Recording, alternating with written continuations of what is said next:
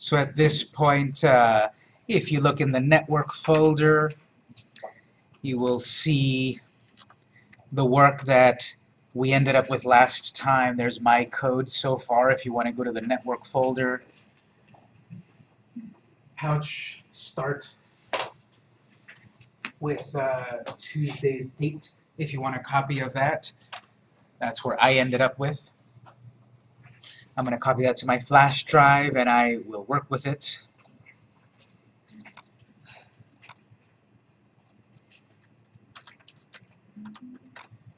So our project at the moment is just uh, the two libraries, the jQuery and then the pouch file 5.3.1 and then our HTML file. So we're we're consolidating everything, the HTML structure and the JavaScript code.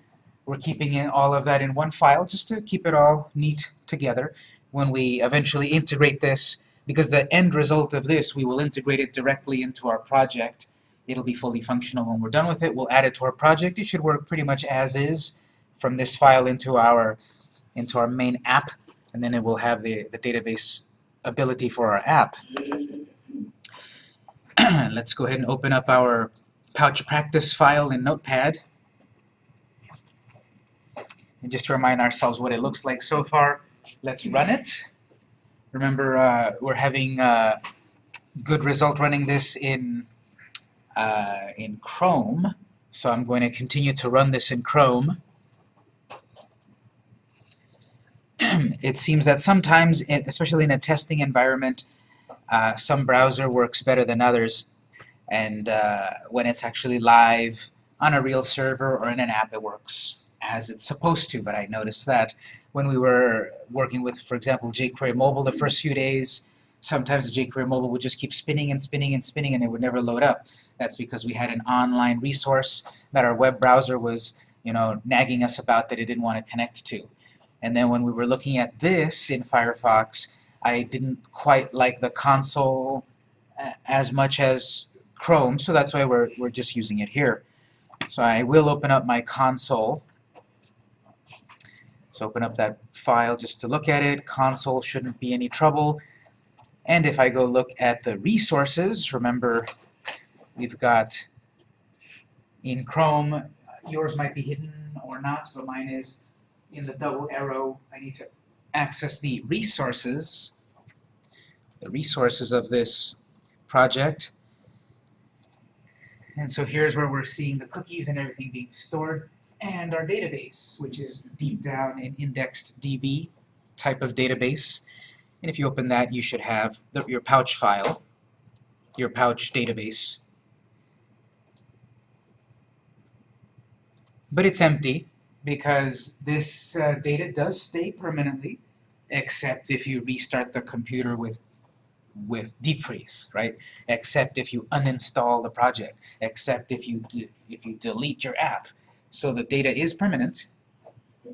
Uh, but for us, of course, this all got deleted, the data in the database, because of deep freeze. Now, notice the database gets gets created right away. As soon as we run it, the web browser creates the database the cool thing about our code is where we've got uh, new pouch DB, it's programmed in a way that it's smart enough that if there's no database, it will create a database. But if there is a database, it'll just access the existent database. And so we got it to the point where if we go back to console view, we can put stuff here. So just to quickly test it, I'll just put, you know, AAA save class and I get the visual uh, the visual feedback for the user class save. And then for us in the developer in the console we get um, object OK. So we did save it to the database. And that other output at the top is just some quick raw output that it saw what was in those three fields. And then it saw that we grouped it all together into an object. And there it is all grouped together as an object the ID, the title, and the instructor fields. It was properly saved to the database. And uh, it cleared our fields so that we can enter a new class. That was a little bit of that uh, function there to clear our fields with good input. then again, just to test this, B class, save. And I've saved class B. Good. And then if I want to save class B again, save that class, document update conflict, there's some sort of error there, because I'm trying to reuse the same CRN, which is the unique ID. Every document in our database has a unique ID, and only one can have that in the whole database. So I'm trying to put in again another BB class, even though I changed title and instructor, I'm still using the same unique ID. Since it already exists, the error comes out here, 409, message document update conflict, which just means, oh, you must be trying to update this document. You did it wrong. No, that's not what I meant. I was trying to save a class that already existed, so it didn't give me that kind of error, such as, you know, document already exists. It assumes we're trying to update an existent document. That's why it gives us that error. And we will be able to update documents, of course, update data in the database, but needs a little bit of a setup, and we'll, we'll get to that today. And uh, what else did we do? Oh, we did, uh, okay, let's say I want to reset that. Show class, we click on that, and then it does show us in the console that so far there are two rows, there are two, you know, two records in the database, class A, class B, two items in the array. And if we open up that object to further peer inside of it, we've got offset rows, total rows, and uh, within the row is the actual data. Now, if you recall, when I forced that error message to appear, if I want to save class BB again, and it says document update conflict, that's coming from the message field of this of this output here. And we did that via error dot message. We were able to retrieve the value of this key with error dot message. In a sense, we're going to do something similar here, where it's where we're saying, okay, there's is our database. We've got all of this data in these rows. We're going to pull out through the row, you know, object zero, which will be our first class A A, or object 99, which will be some other class. So we will be able to access the actual data from the database by referencing its row in the database. so if you get back to our code,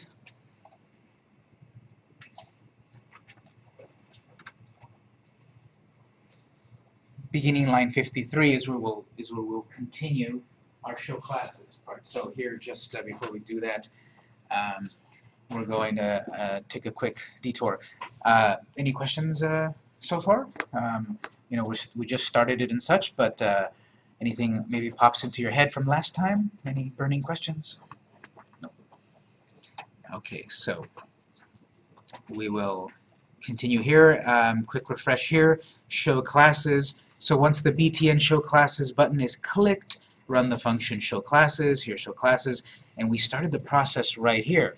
There's a method, all docs, because we can pull out a document.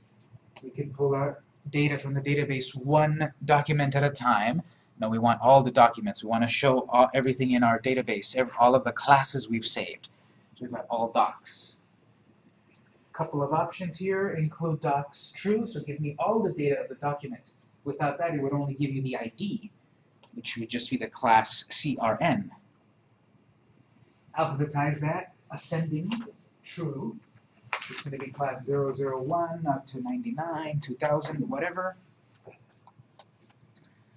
And then that gives us a callback with either an error or a result. And then just the very last thing we did was, okay, show that console output. Give me the result.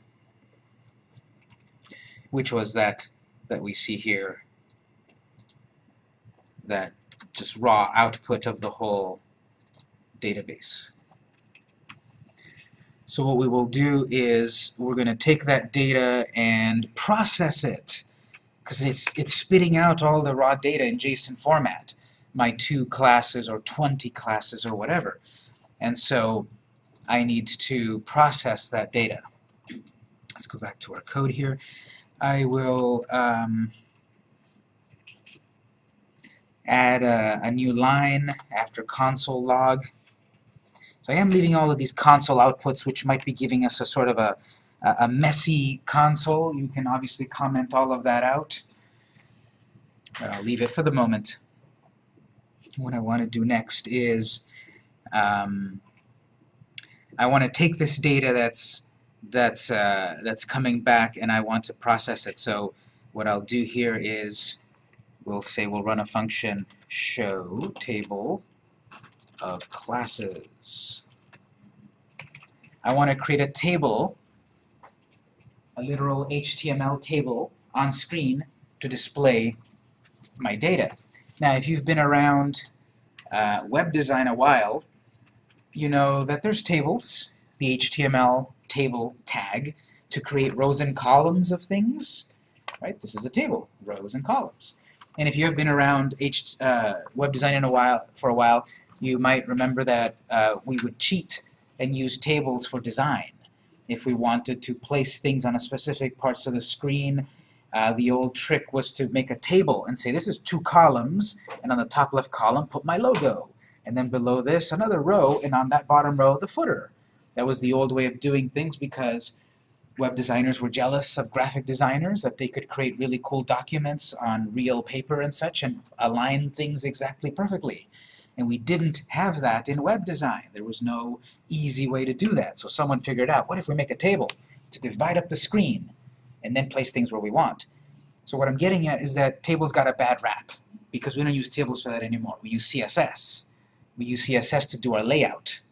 And therefore, there's a generation of people growing up thinking, yeah, tables are evil. That's what I that's what my elders told me. But we're we're going to use a table, but we're going to use the right tag for the right task.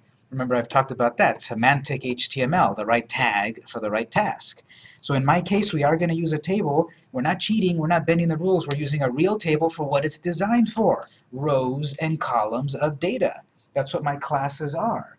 A list of rows of classes with columns of the, the name of the instructor and a column of the class title and so forth. So that's why this function that we're about to run is called show table of classes. It's going to build a table based on the data we're, we're requesting. Speaking of the data that we're requesting, in this function we then have to uh, write in here result. Now actually we've got result, results, exactly. We've, na we've, named we've named it result at some point and results at other point. There's no problem as long as you're consistent. Back here on line 54, I named this uh, this parameter here result. So as long as I keep using result, this will work. If I call this results, and I re referenced it down here as result, then that would not work. Because results is different than result. It's got a letter S. So as long as we keep these consistent, is if we misspell this, you know, R-E-S, LLT. And as long as we keep misspelling it, it'll keep working. What this is saying is, we saw this in the console. Show the results. Show all of the data in the console. And what we're going to do is we're going to process that data with a function called show table of classes. That means we need to define that now. So let's jump outside of the end of show classes function, line 59, and we're going to define what the show table of classes mean. So line 59, function, show table of classes,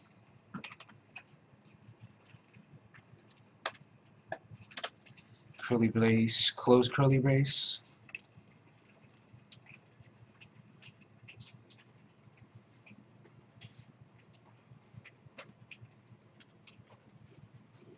Oh, actually, let's back up just a little bit. This will make us our, our work even easier here.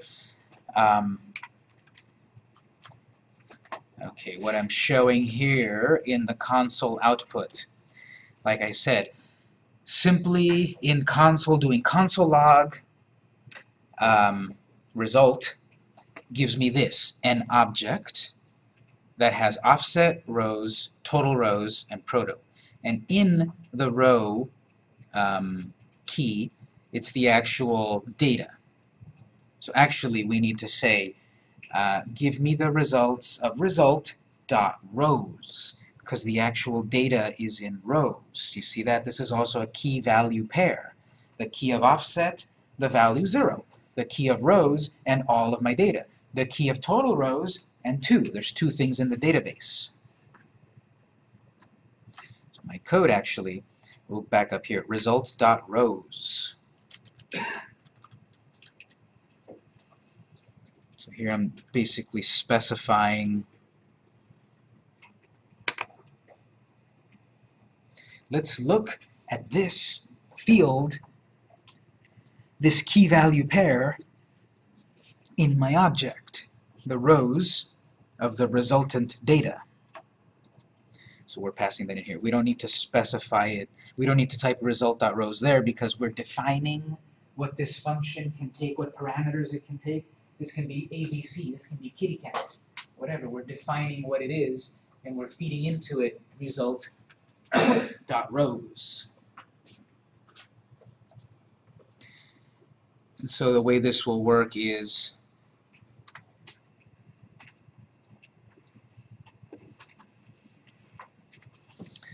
we're going to create a variable because we need to reference the placeholder on screen. Remember we've got we've got a placeholder right here. We've got a placeholder that currently just gives us a little bit of user feedback, but we're going to use that same div placeholder to actually build the table. So we need to reference it here with a variable. And here's something that we often see when, when tutorials are using uh, jQuery. Uh, we need a reference to this object. So this is, uh, this is very common to, uh, to put the dollar symbol here. We've seen the dollar already before, like line 52, which is the giveaway that this is jQuery. So here we're creating a variable, and uh, it's this is a variable that's going to be based on on um, referencing something on screen via jQuery. So oftentimes you see a dollar right there equals. And here we'll say dollar. Right here we've got the jQuery selector. Something on screen, we're going to reference it and we're going to put that object into this variable. This is like a variable that we've always used, and this would work just fine without the dollar. But oftentimes you see the dollar when we use jQuery in the way we're about to do this. And so we've got that div hanging around on screen, right? What did we call it again? We called it div results. So this is going to be pound div results. So right here we're saying let's take that object on screen, let's find that object on screen, and then let's save it as this sort of shorthand, that placeholder. And then a semicolon at the end.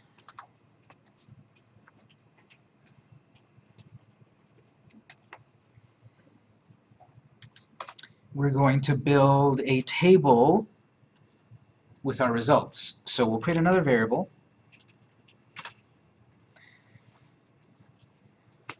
Oh, just to kind of follow what we did previously actually. We're going to create a variable, but we'll do it the way we did it on line 25.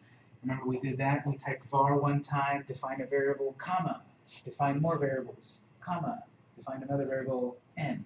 Instead of typing var, var, var, and save those three bytes, let's do that instead. Let's back up,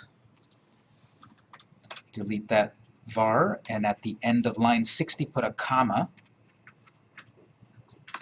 next line, tab uh, str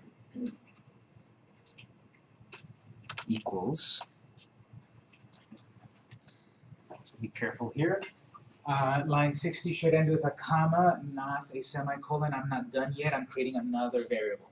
The div variable and the string variable. I'm going to put together a string of code. I'm going to build piece by piece this table equals and the quotes, semicolon. Now the semicolon there ends, saying, okay, I'm done creating these two variables. Yes? Um, since you put a dollar sign for a div, should str have a dollar sign also? No, we're not using this one the same way. The reason we put dollar on this one is because we're using jQuery to reference something on screen and put a reference to it in this variable. This would work without the dollar as well. It's just that later on throughout our code, we can get a quick glance, oh, I made that variable via jQuery. This one is a variable, plain variable that I didn't use jQuery to populate.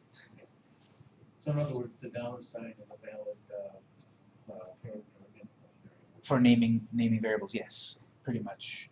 Most characters, yes. Um, okay, so here, we're gonna build a string. Uh, let's back up into our quotes, and we will type the table tag. Don't type its pair yet. And so a table like this uh, thing that you sign every time you come here, this is a table. You've got uh, one row, and then the next row, and the next row. You've got columns. We can define that through HTML. So the whole thing would be the table tag. Let's say the whole thing, table here, slash table here. The whole thing's a table. So then we need to define rows, and we need to define cells, and so forth. The very first row, when you sign in here, you don't sign in to the very first row, do you? The very first row says student name, time in, time out, etc.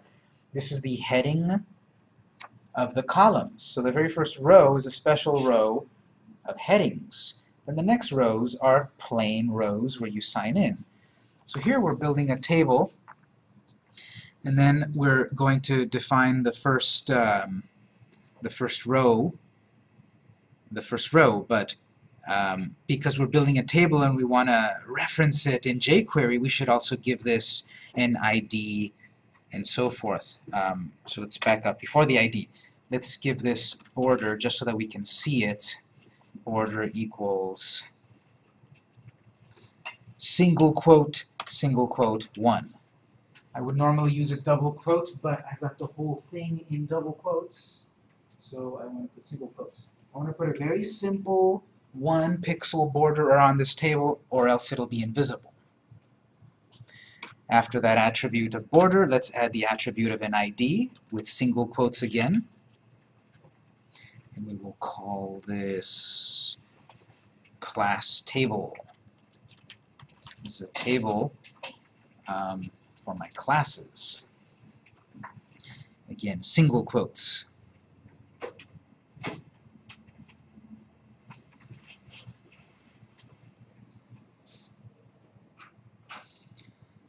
This is building the very first um, the very first piece of the table. Let's go to the next line, press enter. Then we'll type str again, and this time plus equals. Yes. I did end that line. So let's end it like that, yes. And then we're starting a new one. You didn't even move on. Not here because I'm not creating string new again. I'm reusing string. Now, the regular equals basically is take the thing on the right and put it into thing into the thing on the left. Technically, take the thing on the right, empty the thing on the left, and put the thing into it. So reset the variable every time with equals. Take the thing on the right, empty it out, and put the thing into it on the left. Plus equals is add whatever's on the right to whatever's in the variable. We talked on, about that a little bit before, I believe, but here it's really, really going to make be useful for us. So we're going to add more into the variable. We're building this string of code. So in quotes, semicolon, we're going to end the table. So slash table. See, it should highlight now that it finds its pair. It is written very different than we've done previously, but it still works because what we've got is a starting tag and an ending tag. Start table, end table.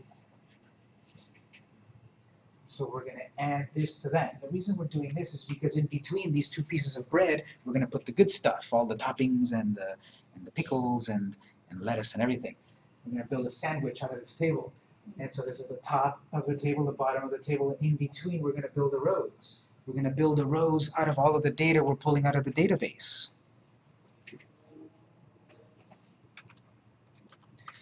Let's back up and add a line in between those two buns, and now we'll fill in the toppings inside. Another string, plus equals quotes semicolon. And as I said, we have our very first special row. Our very first row is a heading row. So we need tr tag slash tr tag table row. Here's our first row. Here's our first row of table data. tr.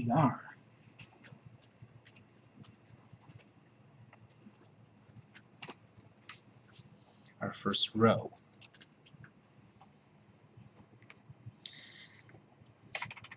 Inside the tr, again using the, the idiom of this thing, we've got a row.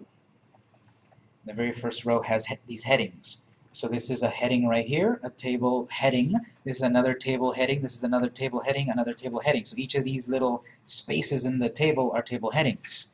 So we'll type th tag, table headings. That's got a pair.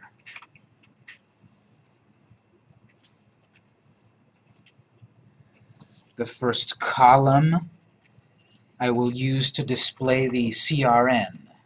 So you see what I'm building is the first column. The first column is going to be the CRNs, the, the numbers of the class. Every row is going to be under the in, under the heading in the column of CRN. After that TH, we will create another heading, pair. And in that column, we're going to display the, uh, the class name. So we'll just type class. The class name is the second column of data that we're going to show. We'll create another th for the for the he- for the column of instructor data. So one more th. Is instructor.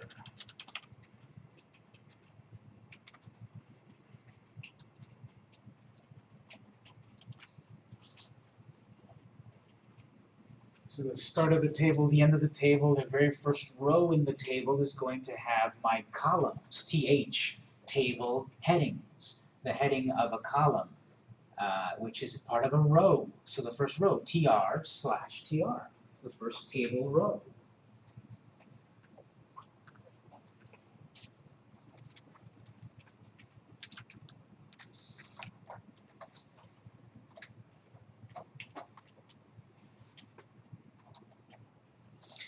Okay, so um, this is eventually then going to be displayed on screen. We're not done yet, of course, but I want to see, does this display on screen yet? Go after line 63, so after the end of the of building the table, we need to display that on screen. And the way we will do this is via dollar $div. We're referencing the div on screen, which is div results and then we're saying .html, display some HTML in this div, semicolon. Which HTML? The HTML that we're building together piece by piece in the string. So we'll say str. This, render that string as HTML in this div. The div on screen that we defined right here. Div results.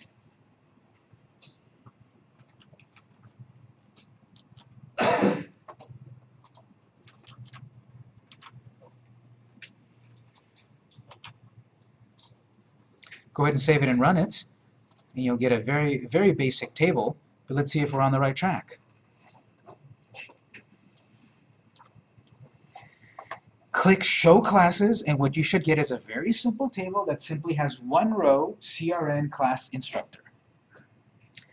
Check your console just in case that there's any errors. There's no errors, good. And let's pause here. Did everyone get a little basic table on screen? Anyone need any help?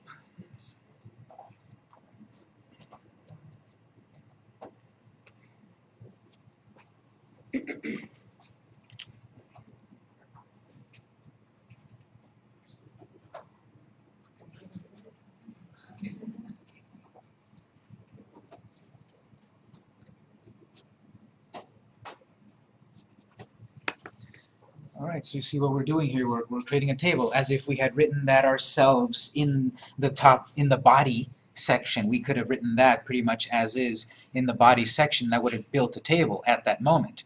But here what we've done is, we've dynamically created a table the moment we need it, when we clicked the button to show classes. So far, we just get a table with no data yet, we still haven't dealt with that.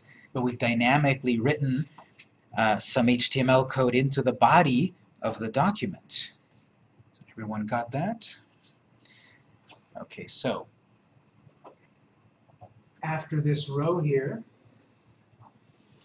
um, after line uh, 62, okay, we've built our first row. Let's add a new line before the end of the table.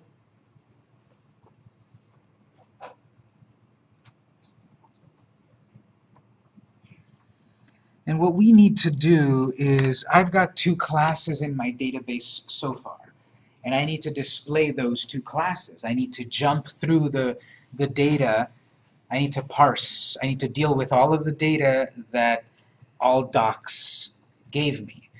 The, one of the ways to do this, a good way to do this is to use a for loop, F-O-R. I believe we've talked about that one. Yeah, we did on the day of, the last day of last month when we when we uh, displayed all of the data in our JSON practice file with the social media icons. Remember, we wanted to display all of the social network icons, so we used a for loop to say, okay, display 0, then display 1, then display 2, then display x. So we're going to use a for loop again. Let's go here to line 63, and the basic skeleton is to type for, F-O-R, open and close um, parentheses, space, open curly brace, close curly brace. This is a for loop. Do this for the set number of times, I suppose. You can think of that as the, as the mnemonic. Do this for the number of times I specify. Repeat this for the number of times specified. The way a for loops for loop works is we need to define our starting value uh, our ending value, how many times to repeat, and then some sort of increment usually so that it keeps doing it until we get to the limit. And so standard wise we create a variable on the spot at this point and traditionally we use i, I believe they use that for index equals 0. I want to start on the 0th item because our, our JSON file starts, start, starts counting from 0. Our data from our database starts with 0. So I want to start with the zeroth item in the database, in my class, in my case, class A. And remember, the syntax here is very specific in that we have a semicolon here in the middle of the command, space, i less than. I currently have two items in my database, 0 and 1. So then I might say, okay, less than 1, because it'll, it'll do this for position 0, and then position 1, and then eventually, you know, we go to 2, and then 2 is too big and it stops. But we don't want to do this, right? We don't want to hard code a value, because right now we might have two classes, and then later we'll have 20 classes, and later we'll have 500 classes. So I don't want to rewrite my code here. So there's we will not put a hard value there. Instead, we will use the trick of result dot length result there basically has a list of all of the rows of our data, all two of our classes, all 20 of our classes. And the dot length value is a, is a number that says, okay, there's seven things in the database. There's two things in the database. There's 200 things in the database. So start from the zeroth one and go up to the last one, whatever it may be. Length. Another semicolon there, and then we need the incrementer, i plus plus. because this loop starts with 0, 0 is less than 2, so do it. And then 0 plus 1 becomes 1. So then it comes back here again now, okay, now i is a 1. Is 1 less than 2? Yes. So do it again, and now add 1. So 1 becomes 2. And that's a 2. So now 2 is less than 2? No. So it ends, and it stops. And what we're doing here in the for loop is building the rest of the table.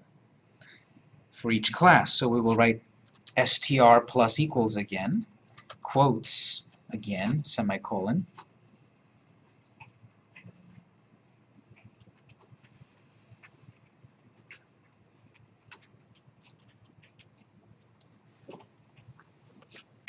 We're building another row. So tr, but we won't write its pair yet. This is the this is the fun, weird, tricky thing that we did. Remember with the JSON file, we had to do this trick where we write a little bit of the of the hard-coded HTML, and then we had to write a little bit of dynamic HTML, JavaScript, and then a little bit more plain plain HTML. So after the quote, space plus space quotes end the TR. Because in between those TRs, we're going to have to write some sort of dynamic value, so not in quotes because it'll be static.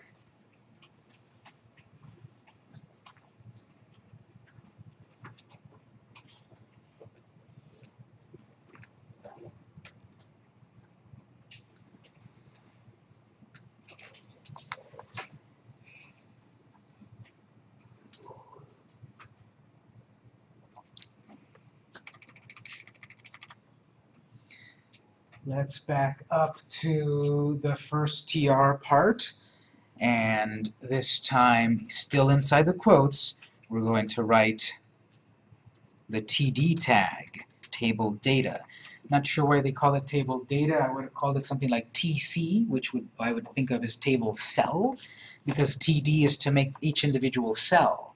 We use TH for the special first row of headings. But then every subsequent plain old cell here is a TD, table data.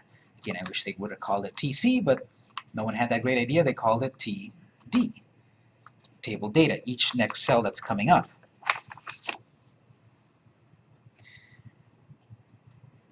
And it's ending table data over here.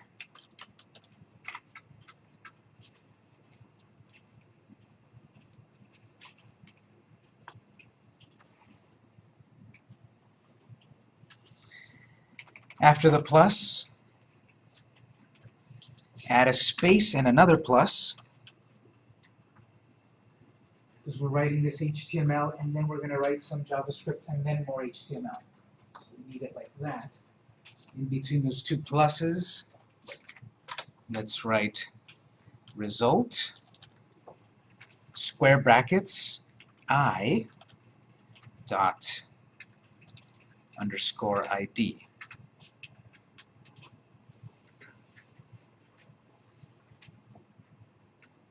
Okay, so result is a reference to the data that we're getting from all docs. And now give me the zeroth position of the data.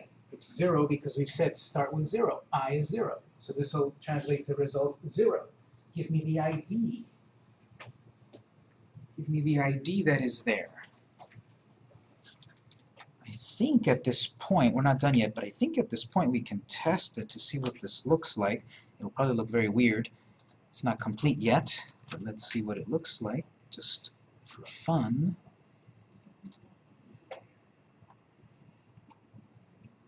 Oh, actually, it's not within. Just let's see here. Okay, there we go. Yeah, actually, sorry, no underscore.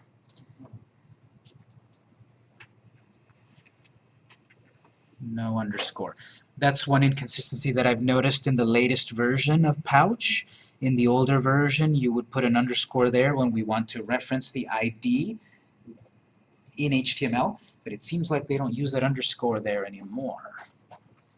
Anyway, save it and run it. And in my case, what happens is I click Show Classes and I get the first column populated. Let me add another class, Class C. Let me save class. Let me show class, Class C. Let me add D. Save class, show class. It's giving me my first column of data. Now let me pull my code back up here. Yes, there's several things that could go wrong here. Be careful about your pluses and where you end your quotes and such result And again, that's no underscore there. Apparently. Save and run that. How many, uh, did it work for you? Raise your hand. Okay, very cool. Anyone need any help? Okay. Here's our code so far. Line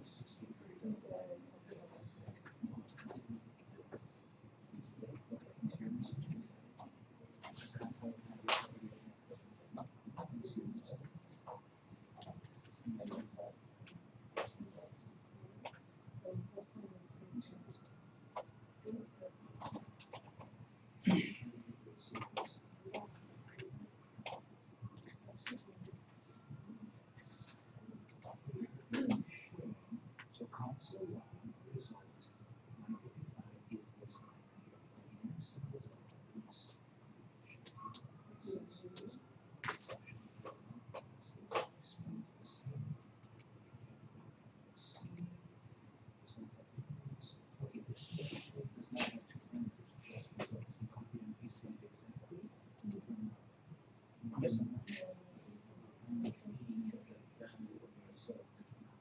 you.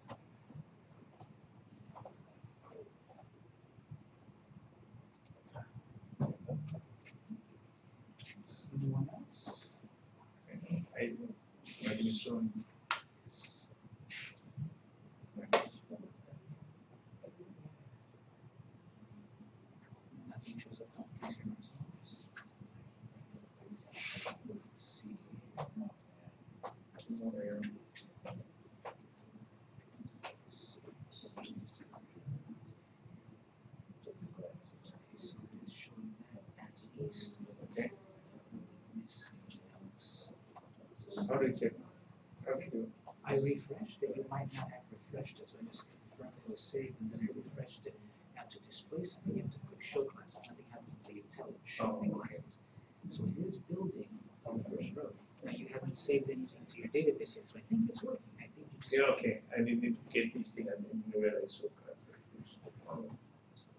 Okay, okay. Now I see. Yeah, I just added a brand new class A. and then that's- So class. Yes.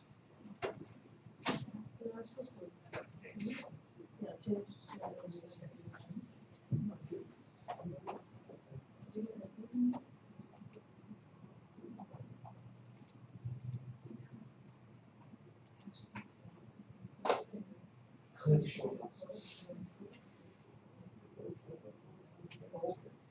We will, we will set it up, we will set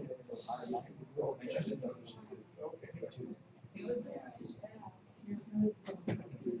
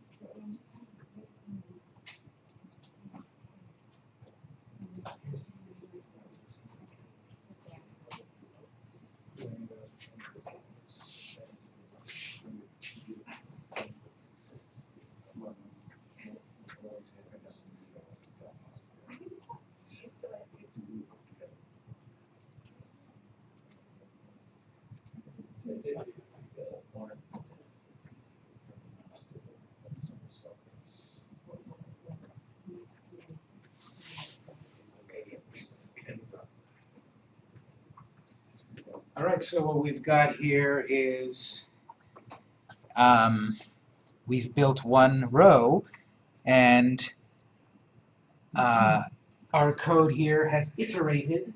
It's gone from the zeroth position of my table to whatever the length of the table. I added more stuff to the to the to the database, so now the length is dynamic. And then we're building that one row with that one TD, that one cell, specifically the zeroth one, give me the ID. And the ID is what I'm typing in CRN. I want to then build a second column and the third column. So going back here, um, what we're gonna do is we're we're gonna break this a little bit. Uh, let's go to right before The ending of slash TD and press enter a couple of times on that. I just want to break it down here. This will still work exactly the same. It's just we're breaking it for readability, or else that would go on for a really long line. I'm breaking it up like this because now I want to build another very similar sort of result there. Um, so let's back up to to your new line 65 and what we're going to do here is type in quotes space plus space plus This is like this. Quotes, space plus something, plus space quotes plus something plus the rest. So it's sort of the same mm, scheme. And here what we're doing is we're, we're closing the TD that is coming back to close this TD, whereas previously the very last one here, were borrowing it to close the first cell, but we're gonna need three cells, so we're closing the first cell right here, and we're starting a new cell. another TD, start TD. That TD now, you see is closed by the very last one.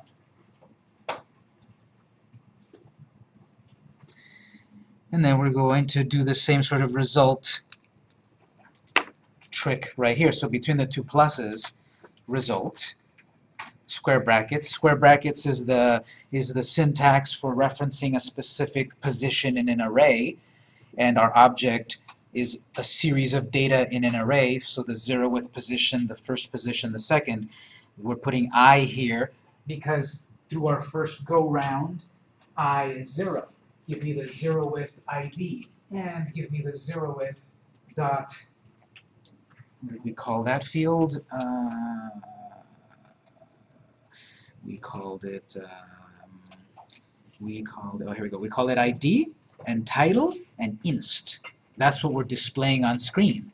we're displaying result dot ID, result dot title, result dot inst. Whatever we called those. So here it's result dot title.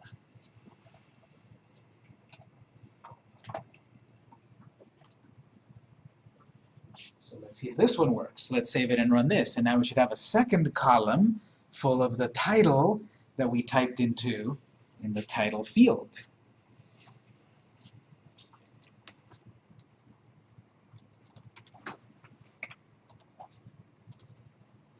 Remember, click Show Classes. Oops. And then the second the second one result title title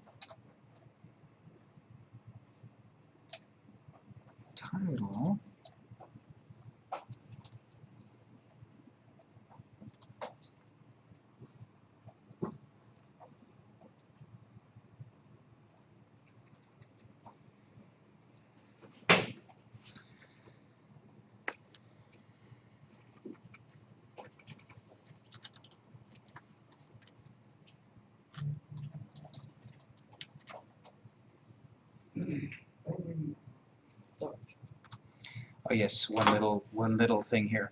Okay, wait. It's actually doc, dot doc, then doc title. Um, that is taking a look deeper into the internal structure structure of my object.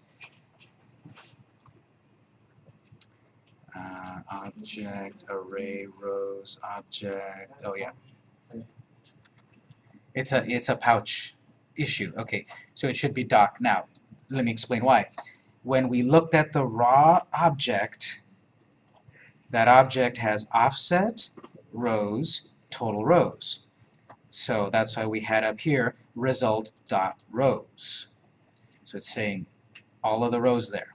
Within rows, we have our zeroth object, first, second, third, etc. That's why this comes in here. That's the zeroth object, because I'm on zero at the point here. And then inside of zero, we have doc and ID. So that's why we're referencing ID right here.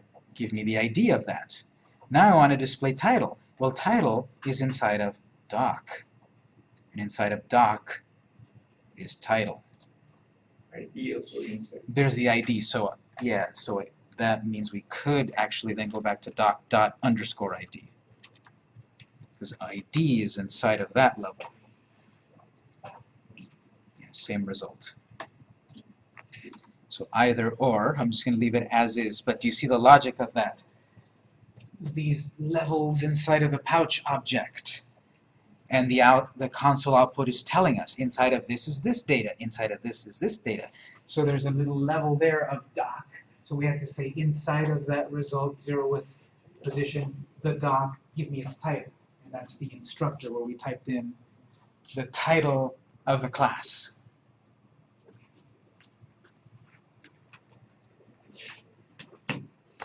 I guess what we could do to alleviate some trouble is, what if we did this? Let me just do this. What if I took it back to title, and what if up here we said dot That should work. Possibly. Nope. Undefined. Okay, I guess we can't.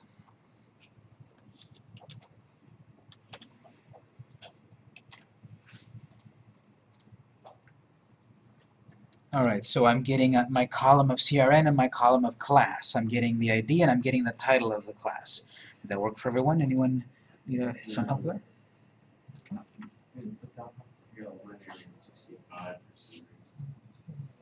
Alright, let's check that. Are you looking to find the, rate tree of, of the array? Why or how? Where, where is it? The way that I'm doing those plus symbols, you mean?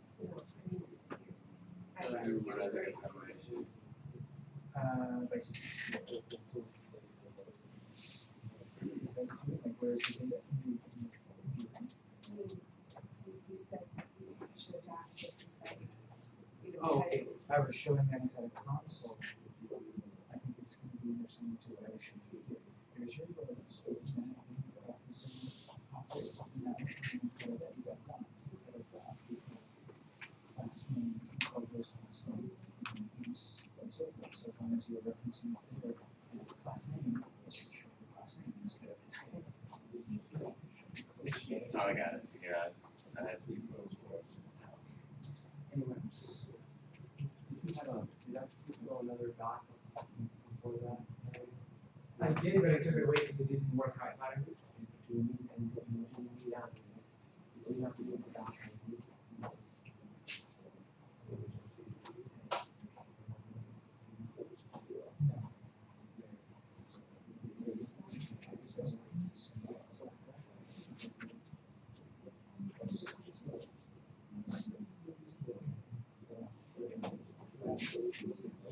said it's very, it's interesting because if you do doc, doc is underscore, I think it'll work. But if you just do the ID, then No, it's just that it just, it can define the data two different ways. How's it spelled out? I mean.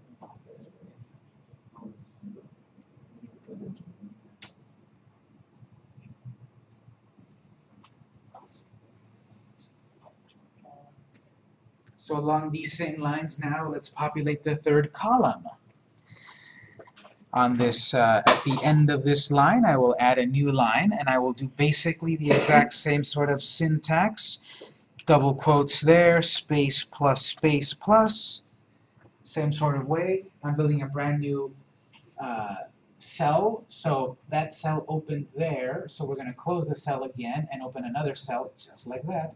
And then we're gonna display, you might be able to figure it out, result i dot doc dot inst. Because that's my third piece of data in my document. So close that TD for the previous one, doc title. Open up a new TD, and that one already closes because we've got one waiting for it down there. And then between the pluses, we'll have result, uh, whatever index dot doc, because now we're deeper into the JSON object, and this time dot inst. We called our cell inst. These names right here, I'm not making them up, I'm getting them from when we made them up up here, back on line 31. We created an object called class, and in it has ID, title, and inst. If we made a brand new a brand new field, for example, notes. We could make notes, colon, class note. We would need a field in our form to capture the note, but that's more data we can save to the database easily. And then we can pull that note out of here, uh, or it'll, it'll pull the note automatically because of all docs. But then to display it on screen, we would need to build a new header, a new th for a new heading, and then a new t D pair for the result.doc.note if we wanted. Let's see at this point. There's my three columns of data. I assume you're gonna add the option to edit a Yeah, definitely, yes. We'll have the ability, I misspelled the instructor's name, let me go back and fix it. We'll be able to do that. So I'm going to add a brand new class, class E, for example. Actually, let me let me jump down. I'm going to add class X, and then save class, show class, and now adds it there. So it keeps adding it. Now, this is adding it alphabetically. What if I add class 007?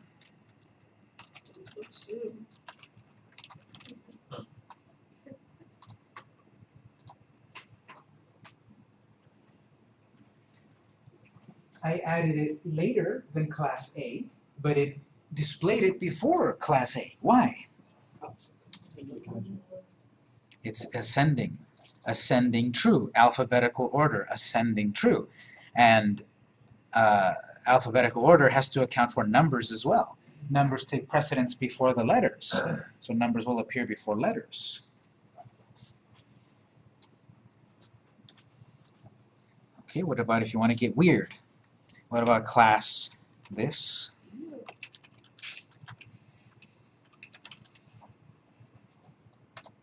Save class, show class. Well, it seems to put symbols after numbers but before letters. Okay, what about this? Class AAA. Wait a minute, I already have class AAA, don't I? No, it's not capital. Exactly. Uppercase, lowercase is different.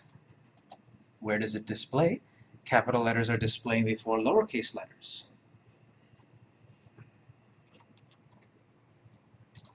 So there's all these little nuances. Again, as a as the developer of this app, we have to think of all of these things, cover all of these angles. Because as we've said, uh, you can't make anything foolproof because there's so many ingenious fools. And so here maybe we didn't have the idea and it's putting it in the wrong order, but it's putting it in the order that it has to define about alphabetically. Yes? Uh, it does require all objects, uh, they have same structure. Like for example, like when we have, uh, later, we want, we want to add one more column like, um, hours. But We can- previous one already, that doesn't have the, uh, don't have the- Exactly. At this point, we've made our objects have three columns, basically, ID, title, and inst. And if we make a brand new field, like this, we don't have to do it yet, but if we make note, we've just made a brand new field to save notes. All of our previous objects will have that field set as undefined. It doesn't know what to put in it, so it'll put undefined. So we can add to the schema whenever we want, we can remove from the schema whenever we want. And maybe we got the great idea later to add to add the note field. Well, eventually we'll add the ability to edit your note so that it no longer says undefined and you can add a real note. But for the moment I won't add that field yet. You see it's simply adding a brand new key value pair in JSON format.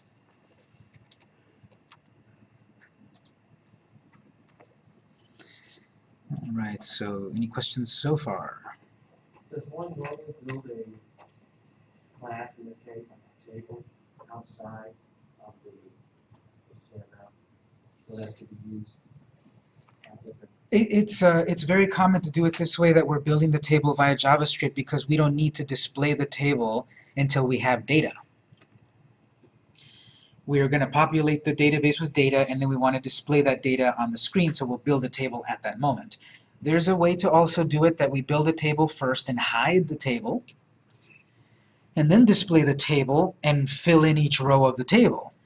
Um, from my testing that's a little more cumbersome because here we're just going to build a table as necessary with the amount of data we currently have, rather than building a table where we don't know how many rows we need, and then we start to fill it with data and then we're out of rows. So we have to think more about adding more rows dynamically anyway.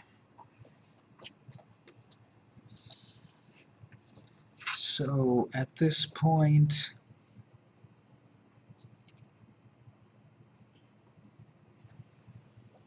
we've got the we've got the table showing up on screen.